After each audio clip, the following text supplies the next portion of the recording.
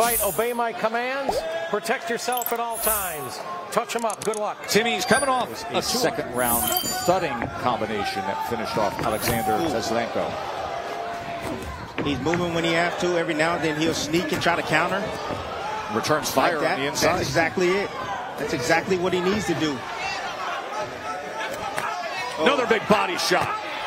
Damaging left hand comes in. And a knockdown scored in the final seconds of round number two. Five, six, seven, eight, nine, ten. What a beatdown. Jared Anderson. Now this is pretty much target practice right there. You see Rovcanin trying to block that body work. But Jared Anderson locating the head. Once you go down to the body, you get your opponent protecting his body. The head definitely will be open. Nice short, tight left hook right there on the inside from Anderson. And then the follow-up, the fact that he can fight from any position, it doesn't matter which way his opponent goes.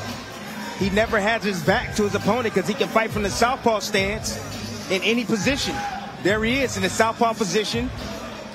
Beautiful skinny left or skinny right, right down the right down the middle right there. There it is, skinny right, boom.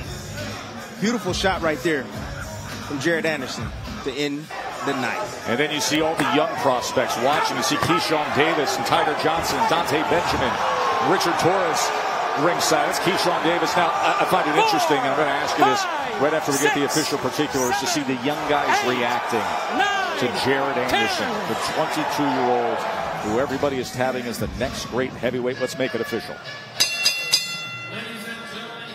Inside the Hard Rock Hotel and Casino, this bout comes to a conclusion at three minutes of round number two.